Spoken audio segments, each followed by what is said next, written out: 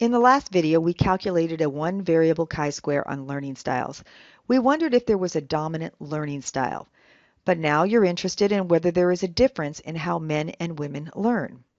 Now you have two variables, so you need to calculate a two variable chi-square. Although the underpinnings are the same, there is one critical difference in the setup, which is how you calculate the expected values. For this video, we will calculate a two variable chi-square, paying particular attention to how to calculate the expected values. For this example, we'll look at the relationship between two variables, learning styles and sex. Let's do the easy part first, calculating degrees of freedom. In the one variable chi-square, degrees of freedom was the number of categories, or k, minus 1. If we weren't looking at males and females, there would only be one row across three categories, so degrees of freedom for a one variable chi-square would be 3 minus 1, or 2. But since we now have two rows of data, we have a different formula. Now we take the number of rows, we have 2, so 2 minus 1 is 1. Then we turn to the number of columns, which is 3, as we have columns for visual, auditory, and kinesthetic, and we subtract 1, ending up with 2. Then we multiply these two numbers together, 2 times 1 equals 2, or 2 degrees of freedom.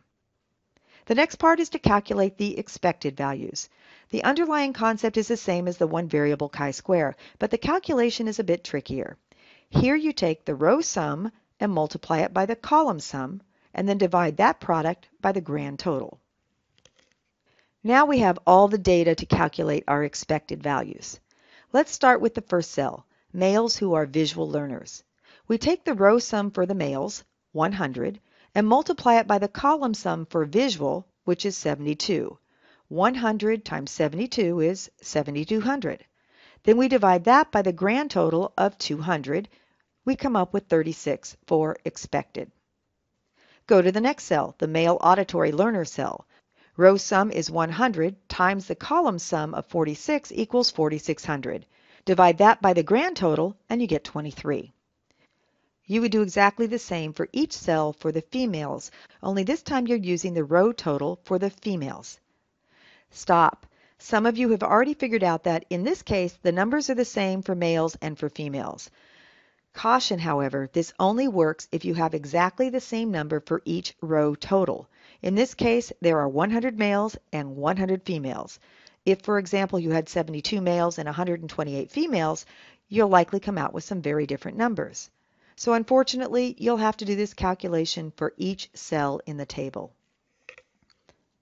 You're ready to move on now. You have your observed data, and you've now calculated your expected data. Now you just have to do the same thing you did for the one variable chi-square, following the same formula in each cell. Starting with the male visual learners. Observed, 30, minus the expected, which you calculated earlier at 36, is negative 6. Square that, and you'll get 36. Take that number, 36, and divide it by the expected, 36, and you'll get 1. Do the same for the next cell, male auditory learners. Observed, 22, minus the expected, which you calculated at 23, is negative 1.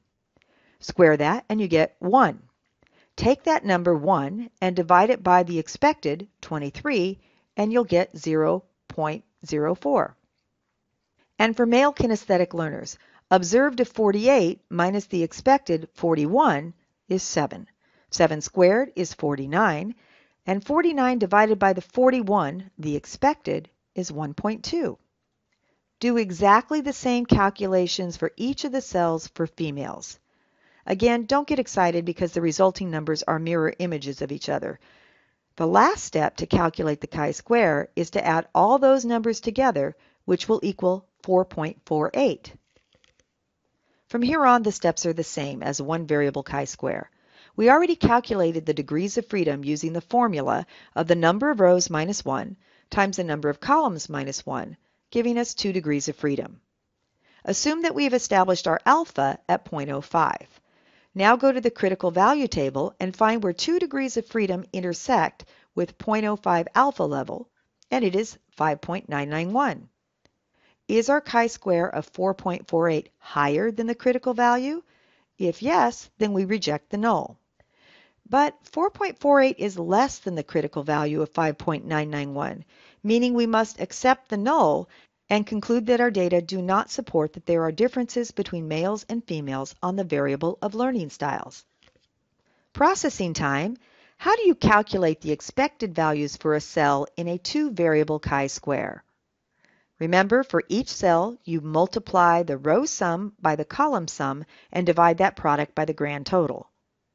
How are degrees of freedom calculated for a two-variable chi-square? The formula is to multiply the number of rows, minus 1, by the number of columns, minus 1. And what would you do if your calculated chi-square is lower than the critical value chi-square? You should be accepting the null hypothesis and rejecting the alternative chi-square hypothesis, concluding that there are no significant differences between what you observed and what you would have expected to and what you would have expected to see if the data were evenly distributed. Hopefully,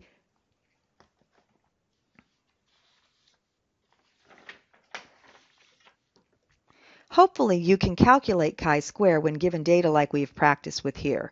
If you understand one variable chi-square, just remember how to calculate the expected values for the two variable chi-square, and you should be all set.